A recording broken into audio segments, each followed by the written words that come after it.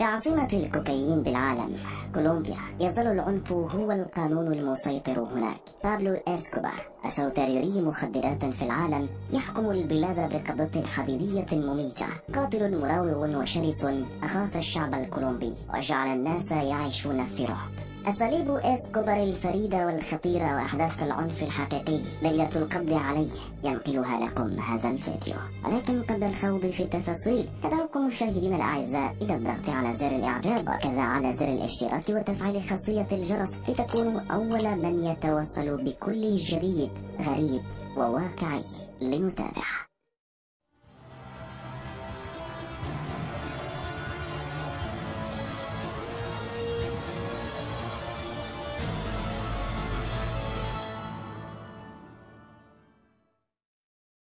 أمريكا الجنوبية كولومبيا في العاصمة بوغوتا سنة 1991 شنت الولايات المتحدة الأمريكية حربا واسعة النطاق على المخدرات داخل عاصمة الكوكايين التي تصدر 80% من المخدرات في العالم. كما أنفقت الولايات المتحدة الأمريكية 170 مليون دولار للتخلص من هذه الصناعة. وأثناء انتخاب الرئيس الكولومبي سيزار جافيريا سنة 1990 1990 وعد خلال برنامجه الانتخابي بمكافحة المخدرات وكذا هزم المنظمات الإجرامية وتسليم وإرسال المجرمين إلى الولايات المتحدة للمحاكمة. وعلى بعد 250 كيلومتر شمال بوغوتا بمنطقة ميديلين كانت القوات الخاصة الفيدرالية تقوم بغارة لمكافحة المخدرات تتكون من فريق كولومبي تحت قيادة كولونيل أمريكي في مباحث مكافحة المخدرات. كانوا يعرفون يعرفون جيدا أنهم يواجهون أقوى وأعنف موزع مخدرات على مر التاريخ فمصانعه تغرق الولايات المتحدة بطنين من المخدرات يوميا. إنه صبي ريفي يعد سابع أغنى رجل في العالم ويعيش حياة الرفاهية بمزرعته الخاصة التي تبلغ مساحتها 3000 هكتار. كما يصور أفلاما بمنزله عن تفاصيل حياته. مستعينا بمصور محترف. وتضم المزرعة حديقة حيوانات إفريقية وخط جوي لتهريب المخدرات وإحضار أصدقائه وعائلته لحضور الحفلات. كان إسكوبار قريبا من عائلته وخصوصا أخته مارينا التي تقول أنه كان أخا رائعا ومحبا ومحترما. كان رجل أعمال بارع لكنه كان يحتاج إلى دعم شعبي. لذا قام ببناء المدارس وملاعب كرة قدم وتصدق بالمال على الفقراء فأحبه سكان ميديلين حيث كان رجل العصابات في كولومبيا يعتبر بطلا. لكن إذا اعترضه أحد ما فقد كان يعذب يحرق يذبح. ولم تسلم حتى الشرطة والقضاة والسياسيون من بطشه كما كان يرسل أناسا يمدهم بالمال ويهددهم بالقتل للتصويت على من يريد أثناء الانتخابات. وفي سنة 1989 وصلت قسوة إسكوبر إلى مستوى جديد حيث فجر طائرة تجارية بالجو لإسكات مخبرين. والنتيجة قتل 110 أشخاص كما لم يكن يشعر بتأنيب الضمير لقتل الناس. بعد هذا وصل المفتش بنيا وفريقه بناء على وشاية إلى أحد المنازل. وكانوا يعرفون أن إسكوبار قد قتل أكثر من 400 رجل شرطة من قبل. وعندما صعدوا الأدراج لمواجهة مجرم خطير لم يستسلم بدون قتال. وجدوا أنه قد هرب فقد كان يسبق الشرطة بخطوة دائما. فقد أصبح القبض عليه مسألة أمن وطني. ومن أجل مصلحة البلاد قرر الرئيس الكولومبي التفاوض معه فطلب منه تسليم وإيقاف نشاطه الإجرامي والدخول إلى السجن من أربع إلى ثمان سنوات مقابل أن تسامحه الدولة على كل جرائمه. اهتم إسكوبر بالعرض في الأول. لكن العقبة الوحيدة أمامه كانت هي إذا تراجع الرئيس وسلمه إلى الولايات المتحدة الأمريكية حينها سيكون عاجزا. فقد كانت جملته المفضلة دائما. أفضل قبرا في كولومبيا على زنزانة في الولايات المتحدة الأمريكية. وفي شهر يونيو من سنة 1991 تم التصويت على إلغاء اتفاقية تسليم المجرمين إلى الولايات المتحدة الأمريكية. ففرح حينها أسكوبر. لأنه أصبح ناجيا ولم يعد يمنعه شيء من قبول عرض الرئيس الكولومبي. فسلم نفسه تحت أنظار الآلاف من المواطنين والمصورين من كل أنحاء العالم بميدلين ولكنه طلب أن تحرسه فرقته الخاصة وأن يكون السجن قريبا من مزرعته وخارج صلاحية الشرطة ومجهزا بكل وسائل الرفاهية. وبالفعل وافق الرئيس الكولومبي. لكن ومن شهر يوليوز من سنة 1992 قتل اسكوبار رجلين من حراسه بعد الشك في خيانتهما. كما استمر في إدارة إمبراطورية المخدرات من داخل سجنه وهو ما اعتبرته الحكومة تماديا كبيرا من طرفه. وبعد أقل من ثلاث أسابيع اقترب أكثر من 400 جندي فيدرالي من سجن اسكوبار لاصطحابه إلى سجن محكم في بوغوتا. وكان يرافقهم مسؤولين حكوميين. حمل إليه إنذارا من الرئيس بالاستسلام ولكنه أخذهم رهينة. واتصل بأخته وأخبرها بما حدث وأن كولومبيا خدعته.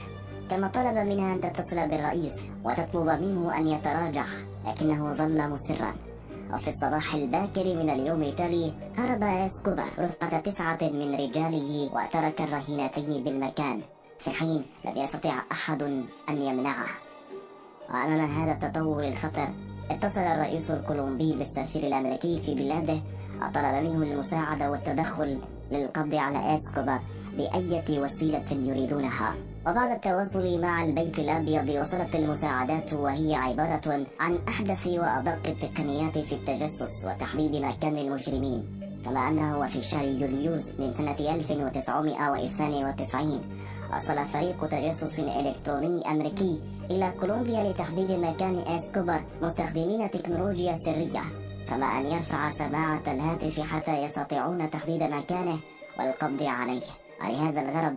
استخدمت الفرقة طائرة خاصة لذلك. وبالفعل ومن خلال إحدى المكالمات استطاعوا تحديد موقعه في زاوية من بلدة مادلين وتدخلت مرة أخرى الفرقة الخاصة. لكن المسكن كان عبارة عن مجمع شقق يضم آلاف الأشخاص لذا تراجعوا وقرروا التدرب على التدخل. كما بدأت الشرطة في استهداف شركائه بدلا منه وخلال شهرين ألقت القبض على 12 شخصا وصدرت 2.5 مليون دولار نقدا. في هذه الأثناء غضب إسكوبا وأعلن عن مكافأته لكل من يقتل رجل شرطة قيمتها ألف دولار.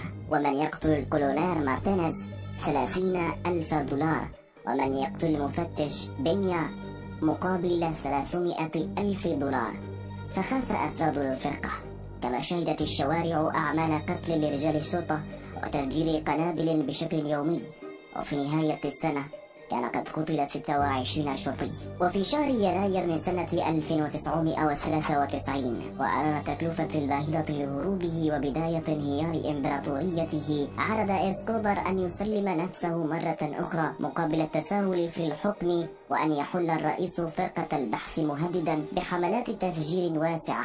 لكن الرئيس رفض الطلب بعد أيام اتجهت سيارة يقودها أتباع إسكوبر في مدينة بوغوتا وبداخلها 100 كيلوغرام من الديناميت نحو وزارة العدل لكن تراجعوا أمام وجود عدد كبير من الجنود ورجال الشرطة وأوقفوا السيارة أمام متجر لبيع الكتب بالتزامن مع اليوم الوطني للكتاب الذي يشهد توافد عدد كبير من القراء والمشترين على محلات الكتب. وبعد لحظات انفجرت القنبلة ومات 25 شخصا وأصيب 70 آخرون معظمهم أطفال. وبعد يومين من الحادث بدأت حملة هجوم على إسكوبر تستهدف قتل وتشويه جثث رجاله وبعض المقربين وهو ما أخافه بالفعل.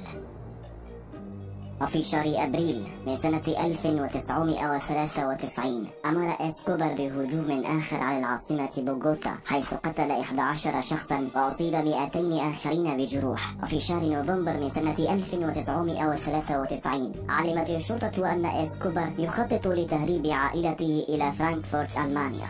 وبعد سفرهم تواصلت الحكومة الكولومبية مع وزير الخارجية الألماني وبالفعل تم إرجاعهم إلى كولومبيا وهنا رفقتهم الشرطة إلى فندق وسط المدينة حيث غادر كل النزلاء وتمت حراسة الفندق من طرف الشرطة. فهم يعلمون جيدا أن عائلته هم نقطة ضعفه. وبحلول الأول من شهر دجنبر من سنة 1993 الذي يصادف عيد ميلاد إسكوبر الرابع والأربعين ومضي 16 شهرا على هروبه كما أن إمبراطوريته قد بدأت تنهار. اتصل به ابنه وأخبره أن صحفيا يريد أن يجري معه لقاء عبر الهاتف من شأنه أن يلمع صورته.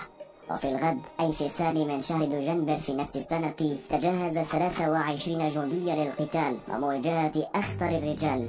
فاتصل بابنه وبدأ مراجعة أسئلة الصحفي المزعوم. في حين تتم مراقبة المكالمة لتحديد مكانه وبعد دقائق تبين أنه في مركز تسوق حيث حلت فرقة البحث هناك وكان المكان مليئا بالزبائن. لكن وبعد البحث لم يجدوه فقد كان يتحرك باستمرار لكنه ظل مستمرا في مكالمته مع ابنه لما جعلهم يحددون مكانه مرة أخرى داخل أحد البيوت. وصلت فرقة البحث إلى هناك وعند مداهمة المنزل أخرج مسدسه وأطلق النار كما قتلت الشرطة حارسه الشخصي. ثم قفز إسكوبر من النافذة في الشارع حيث كان محاصرا بأفراد القوة الخاصة فأطلقوا عليه ثلاث رصاصات وواحدة في الرأس وضعت بذلك نهاية لمعركة استمرت 16 شهرا ومات خلالها 147 شرطي و117 مدني وأصيب 180 شخصا آخرين. وفي الغد أقيمت له جنازة حضرها الآلاف من فقراء ميدلين الذين لا يزالون يرون في إسكوبر البطل. ورغم مرور كل هذه السنوات على موت إسكوبر لا تزال العديد من الميليشيات والعصابات تسيطر على سوق تجارة المخدرات حيث تعتبر كولومبيا عاصمة المخدرات بنحو